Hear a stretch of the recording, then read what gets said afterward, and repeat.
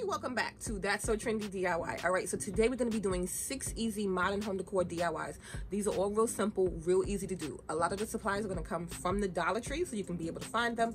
This canvas did come from Five and Below, so you can get a big canvas at Five and Below for $5, or you can get a two-pack, which is a little bit smaller, but you'll get two in the pack, or you can go to your local hardware, um, what do you call that place? You can go to your local uh, local Michaels or whatever craft store and you can get your canvases there and they're going to be a thicker canvas. But for this one, I just used this five and below one and this is going to be the first project that we're going to get into today.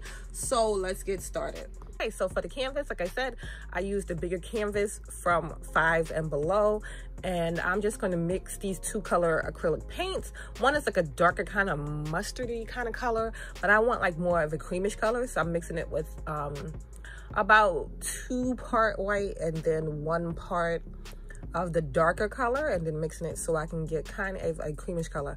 You cannot fully mix it if you want and then get some kind of marble effect, pour it on like, you know, the pour paint look. But I just wanted it in certain spots. And this is the good thing about abstract art when you're doing abstract art, you can do it, you know, many different ways. That's why I'm always trying to show you how you can make your own abstract art because it's a great look and you don't have to spend a lot of money. Like I know a lot of higher end places will charge a lot for abstract art, but you know, you can make some on your own just with a little bit of playing around with it. So once I was done adding the cream color, then I came in, I love a pop of gold. So I have this gold metallic paint that I use in a lot of things. Either I'm using gold metallic spray paint or I'm using gold metallic paint. But I have this gold metallic paint that I use in a lot of things because I like the way just a little pop of gold looks on things. And then I came in with the baking soda and paint mixture to give it some texture. You can do this with every color. You can do it with one color. You can not do it. You can use plaster. There's so many different ways to get texture in your artwork. But for this, I'm just going to use like a chunky mix of the baking soda and the acrylic paint. When you're using the baking soda with darker colors, sometimes you might get a little bit of a grayish look when you're done, but you can just go back over it with the original paint color by itself. Um, I even added in some splatters here. Like I said, with abstract art, you know, do it however you want. After I looked at it, I was like, mm, and I came back over with some black. I came back in with some gold. On the wall. And then I said it was missing something. I think I feel like it's going to continue to miss something. So, I added in these two. I'm going to go over it with black when that dries. But this is the fun of art. You play around with it. Um, I don't know. I'm like, do I need a square here? Like a black square there. Or a gold square? Maybe if it had a um, frame. I don't know. I don't know. But I'm working on it. So this is it when it's done and I do love the way that it turned out. Let me know what you think. Would you had added more darker colors? Would you had framed it? Let me know what you think.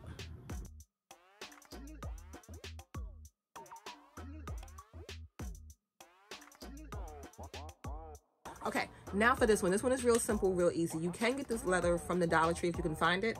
I got mine from Cricut, but you can get leather patches, like squares from anywhere but it's just a leather catch-all tray. So let's make a modern leather catch-all tray that you can find at a lot of high-end places. I'm noticing a lot of them now have um, a lot of leather pieces, like um, little baskets and stuff like that that you can put like magazines and stuff in, catch-all trays.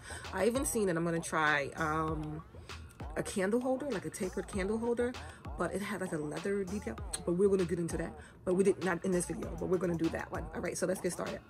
So now for this one, this one is a simple one too. And it's just, you can get, I haven't seen leather Dollar Tree in a while, but you can get leather from Dollar Tree. I just used this um, leather, faux leather fabric that I had. And you're just gonna wanna make sure that everything is equal. Mine was about 12 inches and then I'm just gonna fold it, fold it again, and then cut the corners off, cutting them equally. I cut about two inches in on each side to cut another little square out so you want to make sure that they're even because you're going to line them up. So I'm trying to make sure they're as even as possible. You can cut them individually and make sure that they're absolutely perfect without stacking them. But I wanted to save a little bit of time, so I stacked them together.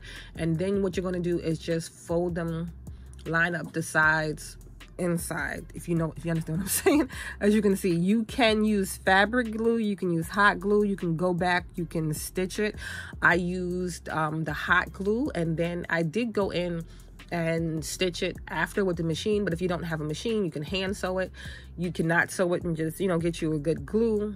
Make sure that it adheres real nice and you're going to do that to every corner. Like i said you don't need a machine to do it but if you do have one that'll be great. Once you're done with that then i came in and i top stitched and again you can hand sew at the outside and this is how it looked and it reminded me of a lot of pieces that i have seen in high-end places so this is a cute way to make a leather catch-all tray.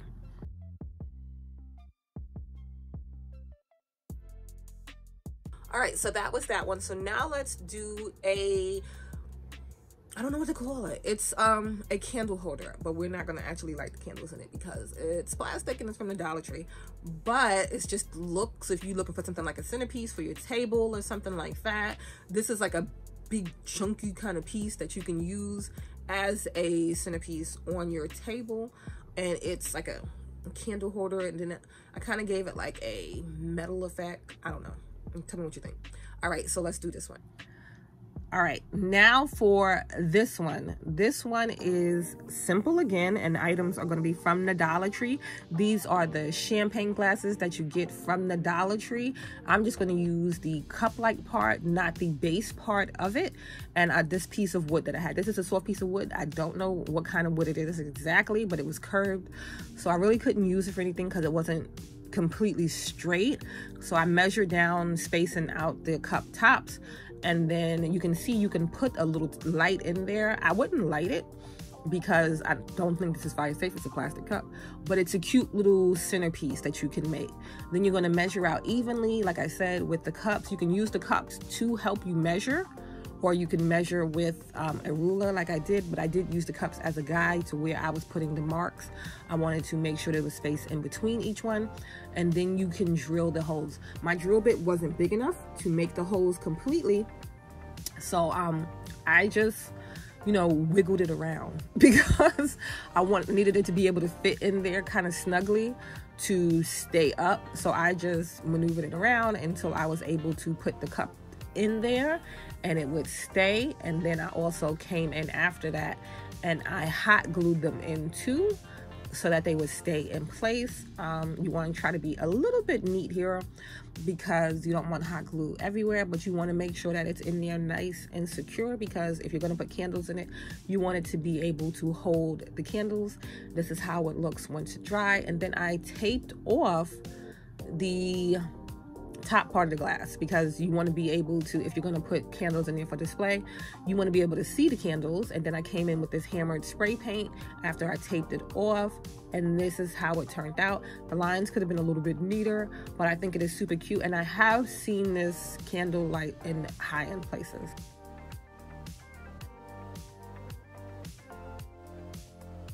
Now for this next one it's real simple. It's a piece that i already did before but it was like a little flat to me. I like I like stone looking pieces, but I'm trying to add a little more texture and different things to stuff. So I wanted to give it just a new modern look. So it's like a modern vase that you can do. And I've seen these a lot of places in the high-end stores also.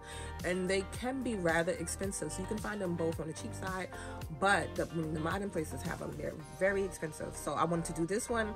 And it's a touch up on an old DIY. And to show you that you can bring your old DIYs back to new life if you wanted to. Okay, now this is something that I did before and I just wanted to give it new life. I did it with this stone um, textured spray paint, which comes out exactly like it looks on the top. But um, I wanted to give it just a different look. Because of the texture, I did have a little bit of bleed through and I had to clean up the lines at the end. So if you want to hand paint this, you might get a better result than using um, the spray paint if you've already done the stone texture on the vase and i got this vase from the dollar tree of course but um so if you want to do that so you don't have the bleed through that might work a little better because I did because of the texture. It wasn't like a, a straight, you know, clean adhere. And I sanded it down a little bit to remove some of the texture from the top. And then I just hit it with the spray paint, like I said. And then I came in and cleaned it up. And this is how it looked. I love it. Super clean, super modern, and something simple and quick you can do.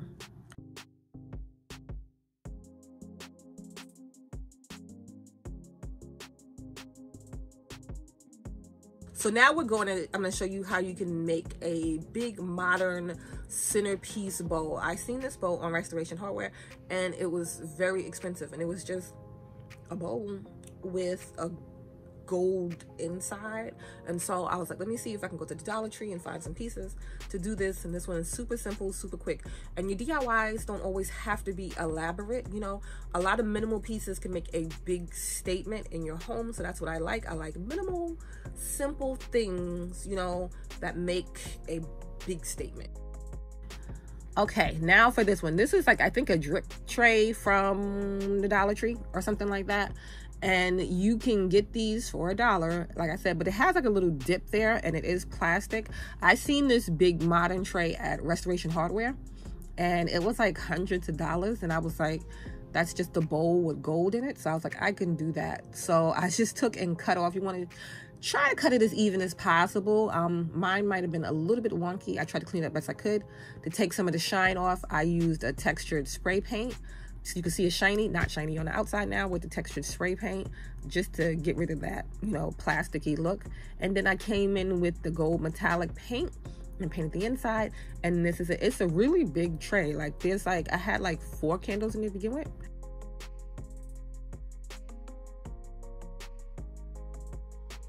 Okay, so now for this last one. It's real simple. It's just a Dollar Tree bowl. Kind of gave it, I wanted to give it a metal-like effect. I think I might go back and give it a textured look because um, the spray paint I used didn't give me that exact metal look, but this is just an idea. Something that you can do to elevate your Dollar Tree pieces and give it that more modern high-end look. Um, all right, so let's get into it. All right, now for this one, this one super easy, super simple. Another bowl from the Dollar Tree and the little bowls from the Dollar Tree. I wish I could have got the bowls without the lines in it, but I only had three without the lines in it. So the fourth one had the lines and you can see them. If you want to use a textured paint on this, that might give you a better look at covering up some of the you know, faux pas in it. But I just glued the balls on like legs. You can glue anything on really like legs on this because it's a really lightweight bowl. Um, and depending on if you're going to be putting anything in it, you want a sturdy leg. But if you're not and just using it for display, you can use anything lightweight and just have a cute little fun shaped bowl. So I glued the legs onto the bottom, the rubber balls there. And then I just came in and I hit it with a metallic, like kind of rustic spray paint and this is how it turned out.